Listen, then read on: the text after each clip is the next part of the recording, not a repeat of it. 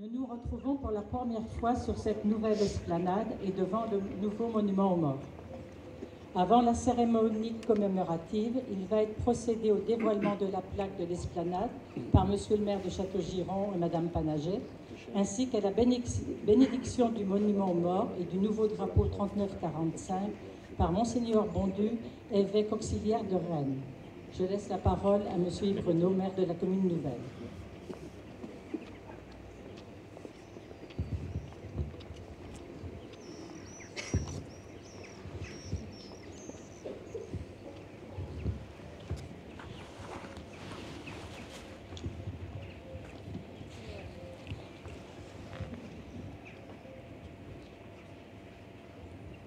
Messieurs les anciens combattants et leurs représentants, Monseigneur Jean Boudu, Madame la sénatrice Françoise Gattel, Mesdames et Messieurs les élus, chers collègues, chers élus du Conseil municipal des jeunes, Mesdames et Messieurs, nous sommes le 8 mai et 79 ans après la fin de la Seconde Guerre mondiale.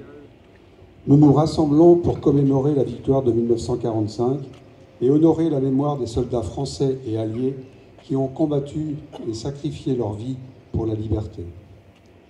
N'oublions jamais le sacrifice de ces hommes et femmes qui ont combattu pour notre liberté.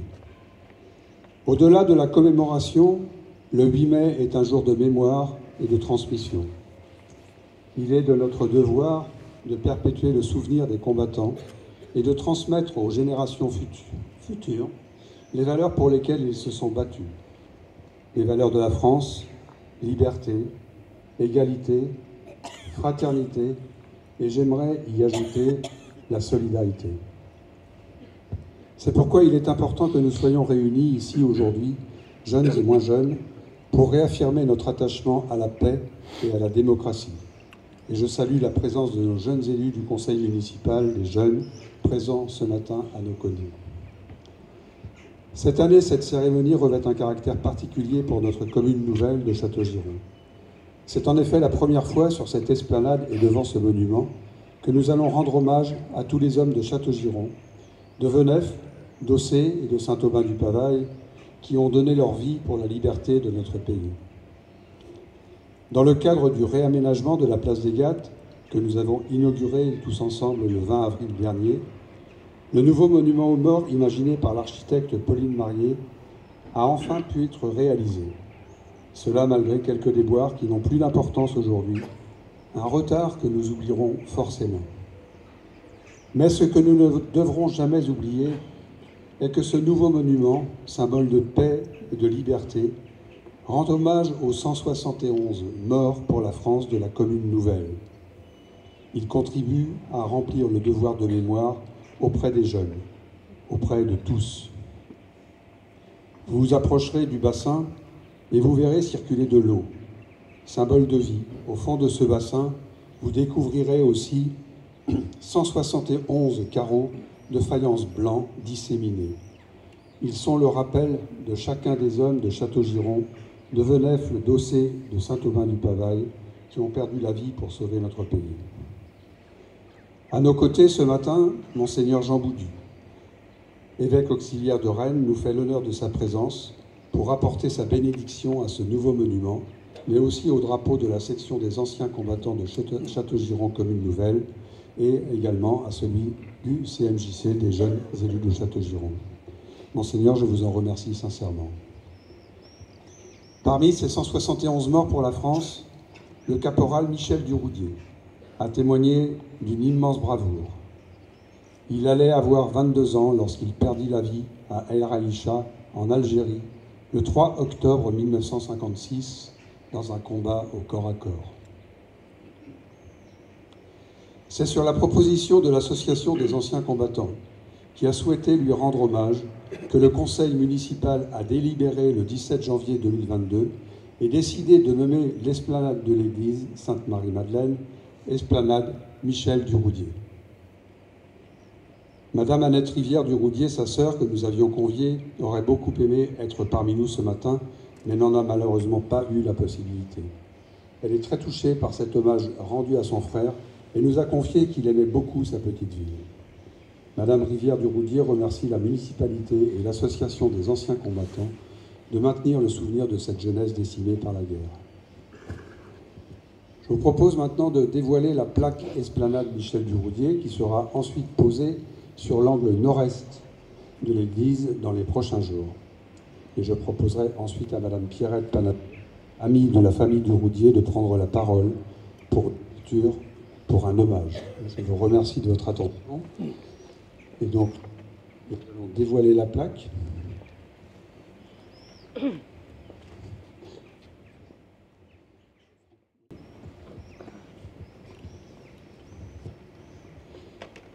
Voilà. Donc nous allons dévoiler cette plaque qui sera posée, donc je disais, à l'angle nord-est de l'église et qui euh, nommera cette esplanade, l'esplanade Michel Duroudier.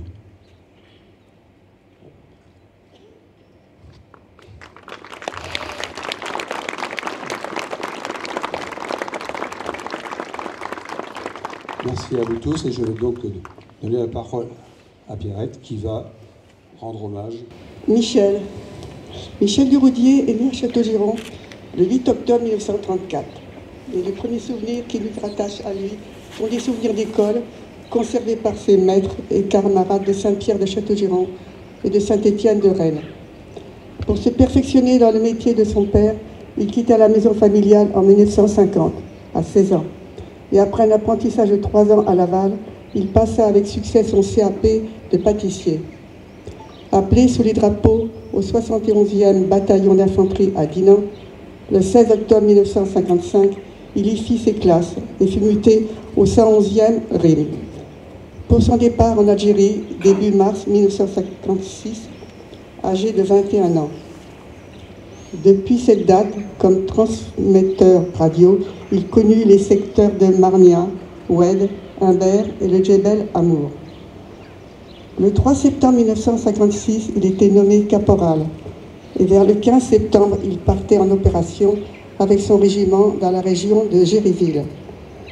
Le 3 octobre, à l'aube, deux sections dans la sienne opéraient dans cette région à une vingtaine de kilomètres d'Aflou, où stationnait, où stationnait le régiment. Et c'est dans un oued asséché à El Richa qu'ils tombèrent dans une embuscade. Les rebelles bien posés et numériquement environ 300, ouvrirent un feu meurtrier sur le détachement. Pendant trois quarts d'heure, il se battit avec acharnement, encourageant ses camarades, chefs des pièces au, fusil mitrailleur. Il dut remplacer son tireur blessé par une balle, et c'est à ce poste qu'il fut mortellement frappé. La conduite au fond et sa mort furent à l'image de sa vie, l'accomplissement complet et sincère du devoir par décret en date du 14 mars 1957, publié au journal officiel du 20 mars, la médaille militaire lui est attribuée, ainsi que la croix de la valeur militaire avec palme.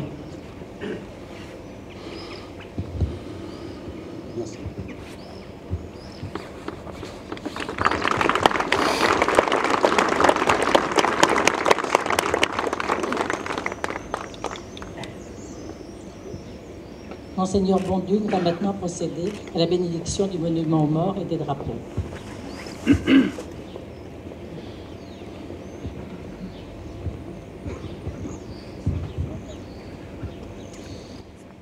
Pour les catholiques parmi nous, au nom du Père et du Fils et du Saint-Esprit, Amen. La paix soit avec vous. Les peuples entourent leurs morts de respect et d'honneur.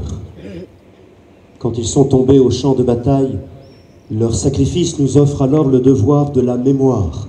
Le fidèle et la gloire des justes, ton Fils Jésus nous a rachetés du néant et de la mort par sa mort et sa résurrection.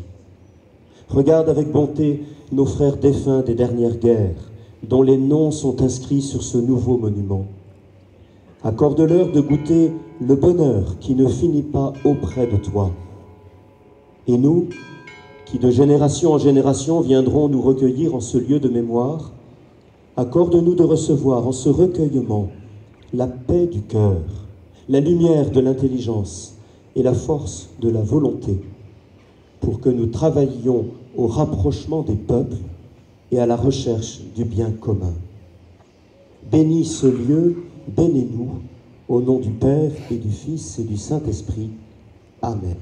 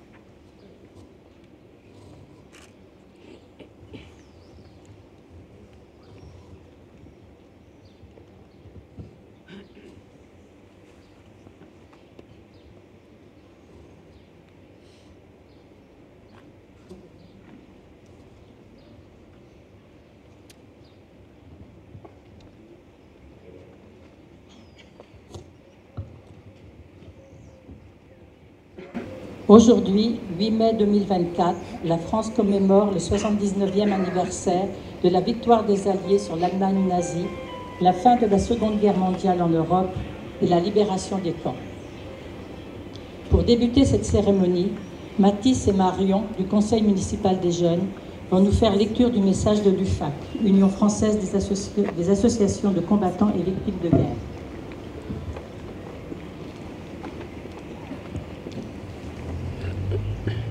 Pour l'ensemble à mon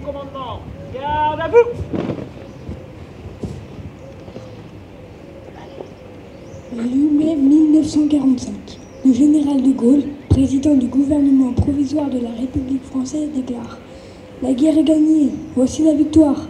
C'est la victoire des Nations Unies et c'est la victoire de la France.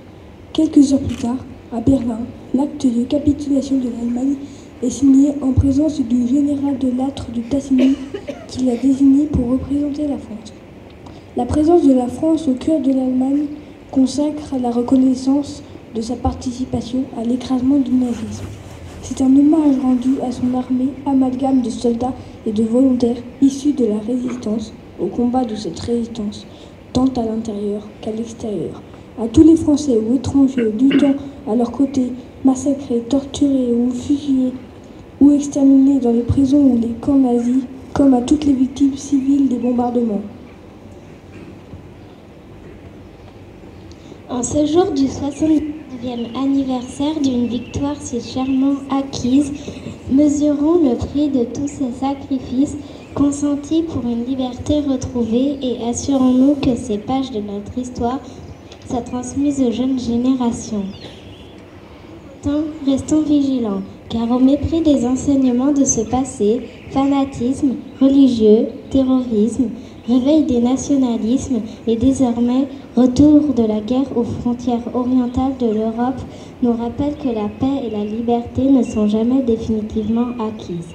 C'est la raison pour laquelle l'Union française des associations de combattants et de victimes de guerre, UFAC, appelle tous nos, nos concitoyens à poursuivre avec elle le combat nécessaire à leur pérennité. Vive la République, vive la France.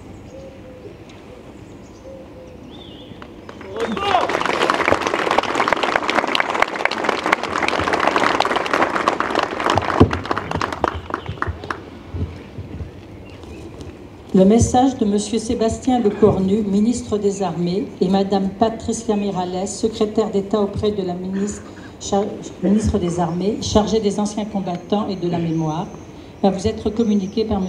Yves Renaud, maire de la commune nouvelle de Châteaugiron. Garde à vous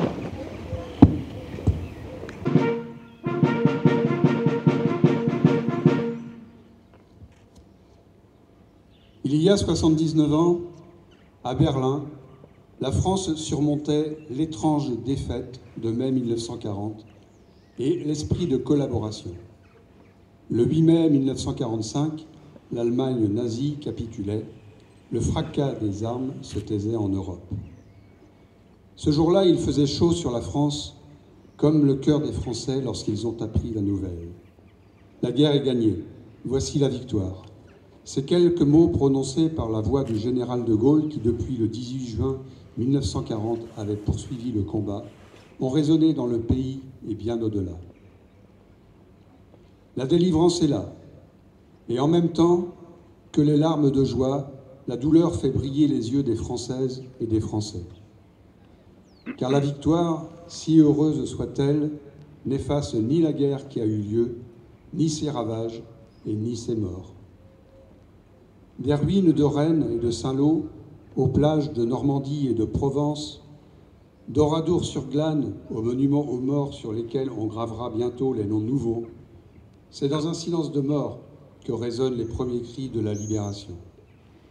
Dans le silence des murs d'Isieux et de celui de toutes les maisons dont les habitants furent assassinés. Le 8 mai 1945, dans un élan collectif, chacun pleure ses morts et salue ceux qui ont combattu. 79 ans après, réunis devant nos monuments aux morts, nous leur rendons un même hommage. Nous nous souvenons de ceux de 40 et de leurs efforts héroïques à Montcornet, à Saumur, à Narvik ou dans les Alpes. Nous nous souvenons des hommes et des femmes qui ont refusé d'abandonner la patrie, à ceux qui l'avaient occupée et à ceux qui l'avaient trahi. Résistant, ils s'étaient engagés sans calcul, sans garantie, mais résolus à vivre libre ou à mourir. Nous nous souvenons des combattants des forces françaises libres, venant de France, d'Afrique, des Outre-mer ou d'ailleurs. Ils étaient soldats, légionnaires, aviateurs, tirailleurs, marsouins ou marins. Ils sont arrivés sur les plages de Normandie et de Provence après les glorieux combats de Birakel, de Koufra, dans les sables du désert d'Afrique et du Levant à Monte Cassino. Ils débarquaient en France guidés par la liberté qu'ils aimaient plus que leur propre vie. Ils se sont battus et n'ont jamais plié. Nous nous souvenons du soutien décisif de nos alliés d'alors, de ces combattants partis à l'assaut de l'ennemi côte à côte avec les Français libres, de ces millions d'hommes et de femmes qui se sont unis pour hâter la victoire. Nous nous souvenons également de toutes les victimes civiles qui payèrent un immense tribut. Elles trouvèrent la mort dans les exactions de, l'occupant ou les bombardements de l'aviation, de l'invasion et de la libération. Nous nous souvenons des victimes de la déportation politique et raciale dans les camps de concentration et dans les camps de la mort. Nous nous souvenons des juifs, tziganes, homosexuels, handicapés physiques ou mentaux, haïs et assassinés simplement parce qu'un jour ils étaient nés. Nous nous souvenons aussi de ces Français et de ces Françaises d'Alsace ou de Moselle, enrôlés malgré eux dans l'armée de l'occupant, sous un drapeau qui n'était pas le leur. Il y a 79 ans, la France et l'Europe avaient perdu leur innocence. Et c'est avec la conscience grave du passé que chacun se mit à imaginer des jours heureux. Avant même la fin de la guerre, de nouveaux défis se faisaient jour, de nouvelles ambitions aussi. Une ambition politique, partagée par toutes les forces qui avaient contribué à la libération et qui, rassemblées autour du général de Gaulle, avaient formé un gouvernement provisoire. L'ambition de l'établissement de la démocratie la plus large, car les peuples avaient compris, par les armes et par le sang versé, que le nationalisme est un fusil chargé. Tous présentaient déjà que la construction européenne serait nécessaire au salut de l'Europe. Une ambition sociale, celle de la sécurité sociale, du droit du travail, de la sécurité de l'emploi. Celle qui a donné à tous les enfants la possibilité de bénéficier de l'instruction et d'accéder à la culture pour que soit ainsi promue une élite non de naissance mais de mérite. Une ambition économique qui, ne se limitant pas à la reconstruction, a offert à notre pays les moyens de son indépendance et de sa prospérité. De la guerre du 8 mai 1945, nous avons conservé une mémoire. Celle-ci s'est nourrie de l'histoire des combats de la France libre et de la résistance, comme de celle de la déportation et de la collaboration.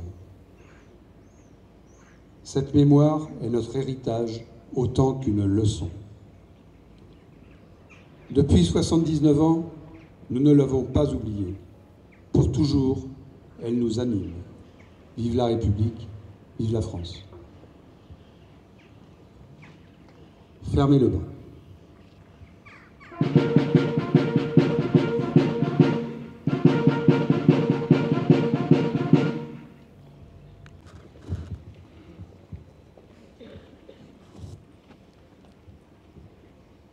Château-Giron, 1914-1918. Banquetel, Eugène. Barbeau, Alexandre. Bazin, Joseph. Baudouin, Julien. Belloir, Amand. Aussi, guerre 1914-1918. Alain Joseph. Allaire Louis. Angers Isidore. Aubin Marie. Banquetel Léon. Bo- Bobile Louis. Bobile Pierre. Saint-Aubin du Pavail, guerre 1914-1918. Beaulieu Jean, Beaulieu Pierre, Beucher René, Bourdin Pierre, Bourrel Auguste, Chassé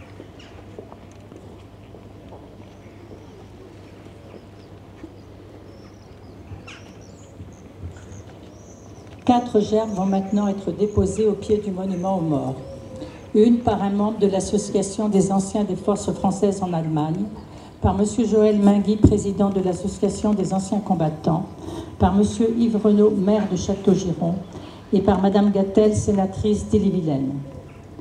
Le dépôt des gerbes sera suivi de la sonnerie aux morts, de la minute de silence et de l'hymne national que vous conviés à chanter.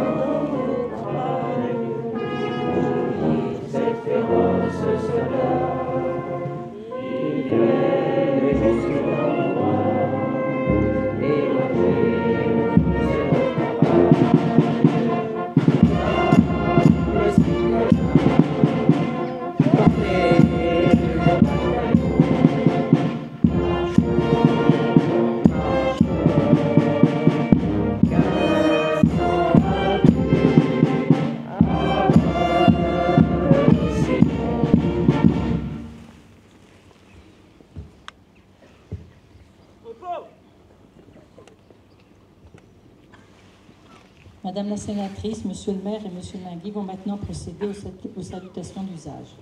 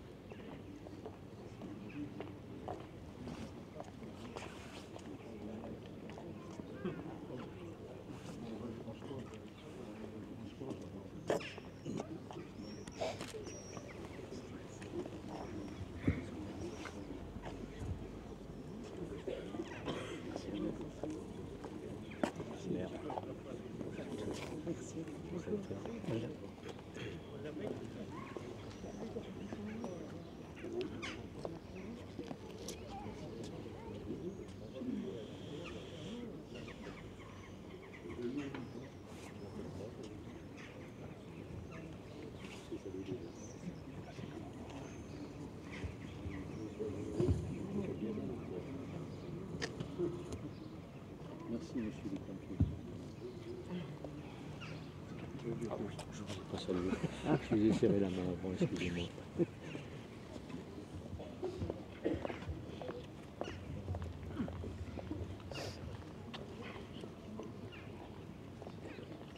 La cérémonie officielle est maintenant terminée. Nous allons rejoindre la cour du château en cortège, où la musique Sainte-Cécile procédera à une aubade. À l'issue, un vin d'honneur sera servi en salle le prêtre de l'Aisonnet. Merci à tous. Si Ils vous ont inauguré l'esplanade.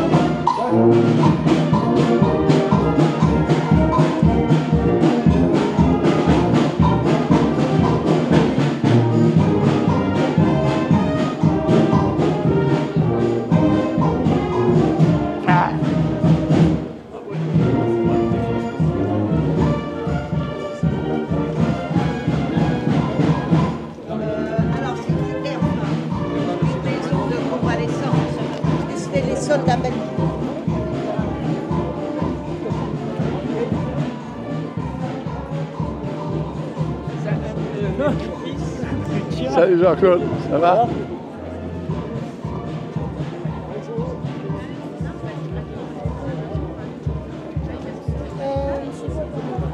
Un sourire, un grand. Bonjour.